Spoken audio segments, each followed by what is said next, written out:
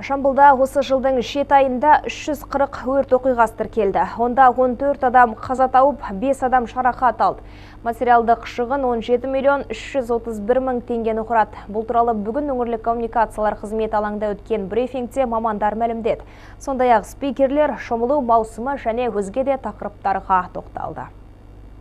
Ағымдағы жылдың жет айында облыс аумағында 340 өрт оқиғасы тіркеліп, 14 адам қаза тауып, 5 адам жарақат алды. Ал материалдық шығын 17 миллион 331 мың теңгені құраған. 2020 жылмен салыстырғанда тілсіз жаудың саны 5 пайызға, ал өрттерде адамдардың қаза болуы 3,5 месеге өсіп отыр. Қызыл жалын көбіне тұрғын секторында және автокөлікте тұтанады екен. Ағымдағы жылы облыс аумағында 340 өрт оқиғасы орын алып одан 14 адам қаза болды 5 адам әртүрлі дәрежеде күйік алды. Және 17 миллион теңге шығын келтірілді. Жалпы осы қаза болғандарға тоқталатын болсақ бұл қаза болған өрт қауіпсіздігі талаптарын сақтамау салдарынан орын алып отыр. 14 адамның мысалы төртеуі ол алкогольді мас күйінде өрт қауіпсіздік талаптарын сақтамау салдарынан төртеуі белгіленбеген орындарда темекі шегу салдарынан және де бес қараусыз қалған балалар осы өрт кезінде өкінішке орай қаза болып отыр.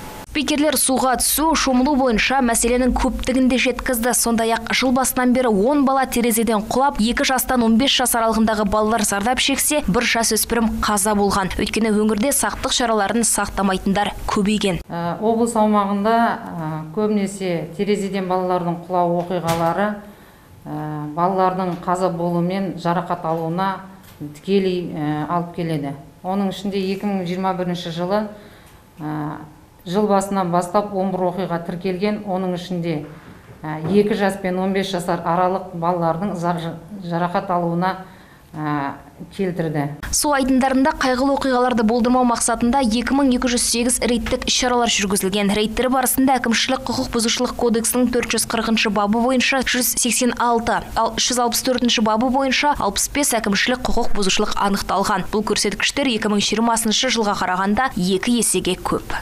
Перизат Қуатқызы, Ақтанберді Әбітаев, жеті жеті ньюс.